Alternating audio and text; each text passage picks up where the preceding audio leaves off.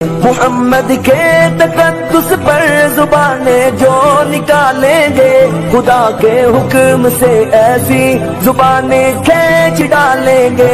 कहाँ रिफत मोहम्मद की कहाँ तेरी हकीकत है, शरारत ही शरारत बस बेचैन फितरत है। मुजम्मत कर रहा है तू, शराफत के मसीहा की अमानत के, दयानत के, सदाकत के मसीहा की।